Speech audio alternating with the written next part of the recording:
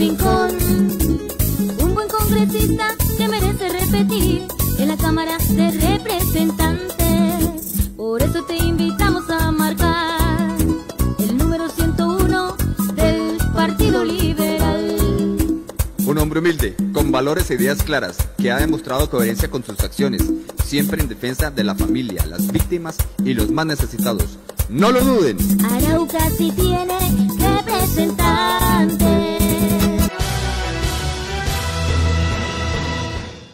Un reciente reporte de las autoridades indica que 25 personas de nacionalidad venezolana han sido capturadas por haber participado en diferentes delitos en todo el departamento.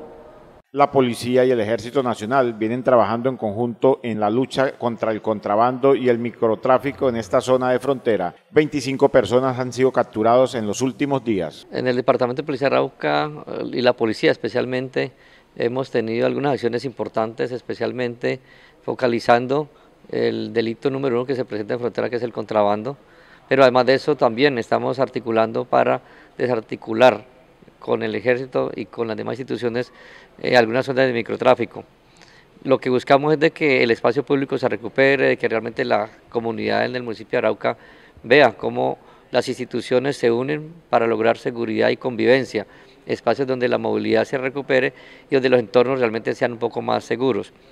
Además de eso, pues buscamos el fortalecimiento de las acciones contra niños y adolescentes para que ellos vean un futuro eh, detallado y con una visión de futuro en donde realmente les demos esas garantías como instituciones. 25 personas han sido capturadas en lo que va corrido del año en el departamento de Arauca y han sido de nacionalidad venezolana. Bueno, en lo que llamamos del año aquí en el departamento de Arauca tenemos un total de 25 personas que han sido capturadas por diferentes delitos y que tienen nacionalidad venezolana unos eh, por tema de homicidios, otros por lesiones personales, por favorecimiento al contrabando, por microtráfico, por hurto a comercio y hurto a residencias.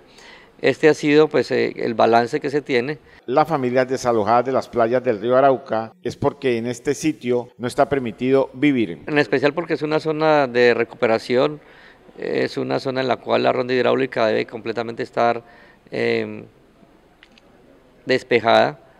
Recordemos que son sitios que deben de estar protegidos por el gobierno departamental y municipal y ante todo pues buscamos de que retornen las personas que están invadiendo ese espacio público a otros lugares, no solamente migrantes sino también colombianos y de esta forma recuperar la seguridad y la convivencia. El comandante del Departamento de Policía de Arauca viene realizando los operativos con todas las instituciones del Estado. Bueno, la institucionalidad está actuando en forma conjunta.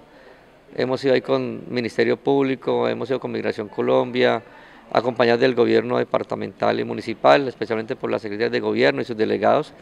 Entonces todos aquellos elementos que se encuentran pues son dejados a disposición de la autoridad competente, pero si son elementos de pertenencia pues ellos siempre deben continuar con sus elementos como ropa, camisetas o morrales, siempre y cuando no tengan elementos que vayan a comercializar, sus elementos pues no se les va a afectar en cuanto a la incautación, pero sí dejamos muy claro que si hay elementos que están comercializando, que sean de contrabando o que no tengan de pronto un sustento o una factura, un elemento que pueda demostrar su legalidad, pues se van a ser incautados y se dan a disposición. La mayoría de las personas de nacionalidad venezolana son devueltas a su territorio.